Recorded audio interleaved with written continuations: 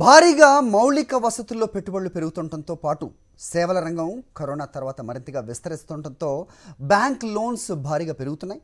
ఇది bank deposits పైన తీవ్ర పరిణామం చూపిస్తోంది. బ్యాంకుల్లో డిపాజిట్లు తరిగిపోతున్నాయని ఆర్బీఐ డేటా వెల్లడించింది. అయితే క్రెడిట్ గ్రోత్ పెరగటం దేశ ఆర్థిక అభివృద్ధికి సంకేతంగా భావించినా బ్యాంకులు డిపాజిట్లు పెంచుకోవాల్సిన అవసరం ఉంది అనేది ఆర్బీఐ చెప్తున్నమాట ఇంతకీ బ్యాంక్ డిపాజిట్ తగ్గితే ఎవరికి నష్టం? బ్యాంకులు సేకరించే డిపాజిట్ల కంటే ఇచ్చే అప్పులు ఎక్కువైపోయాయి. ఈ ఆర్థిక సంవత్సరంలో బ్యాంక్ డిపాజిట్లతో ఇచ్చిన అప్పులు దాదాపు రెట్టింపుగా రికార్డయ్యాయి బిజినెస్ సైకిల్ మెరుగవడమే ఇలా బ్యాంకులు ఇచ్చే అప్పులు పెరగడానికి ప్రధాన కారణం అంటున్నారు అనలిస్టులు. ఈ ఏడాది సెప్టెంబర్ చివరి నాటికి బ్యాంకులు ఇచ్చిన అప్పులు పదహారు పాయింట్ ఐదు శాతం పెరిగాయి. మరొకవైపు బ్యాంకుల్లో డిపాజిట్లు మాత్రం తొమ్మిది పాయింట్ రెండు శాతమే ఉన్నట్లుగా Reserve Bank of India data వెల్లడించింది. అక్టోబర్ వరకు చూస్తే బ్యాంకులు ఇచ్చిన అప్పుల జోరు మరింత ఎక్కువైంది.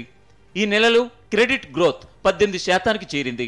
డిపాజిట్లు మాత్రం తొమ్మిది పాయింట్ ఐదు శాతమే పెరిగాయి. దీంతో బ్యాంకులు తమ క్రెడిట్ డిపాజిట్ రేషియోను ఎనభై శాతానికి పెంచుకుంటున్నాయి.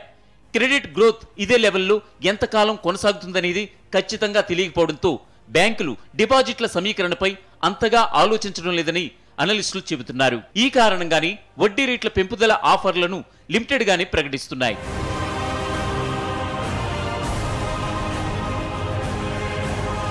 దేశంలోని అతిపెద్ద బ్యాంక్ అయిన State Bank of India credit growth September చివరి నాటికి ఇరవై శాతానికి చేరింది. ఏడాది మొదట్లో క్రెడిట్ గ్రోత్ పన్నెండు శాతం దాకా ఉండొచ్చని ఎస్బీఐ అంచనా వేసింది. డిపాజిట్లతో పోలిస్తే క్రెడిట్ గ్రోత్ రెట్టింపు వేగం చూపిస్తున్నప్పటికీ తగినన్ని డిపాజిట్లు తమ వద్ద ఉన్నాయని ఎస్బీఐ చెబుతోంది. Infrastructure renewable energy oil marketing కంపెనీలు సర్వీస్ సెక్టార్లోని కంపెనీలు ఎక్కువగా బ్యాంకుల నుంచి అప్పులు తీసుకుంటున్నాయి. ఆ కంపెనీలు తయారు చేసే వస్తువులు సేవలకు డిమాండ్ పెరుగుతుంటే బ్యాంకుల నుంచి తీసుకునే అప్పులు ఆ మేర పెరుగుతూనే ఉన్నాయి. మరొక వైపు డిపాజిట్లు వేగంగా పెరగకపోవడం బ్యాంకులను కొంత కలవర పెడుతోంది.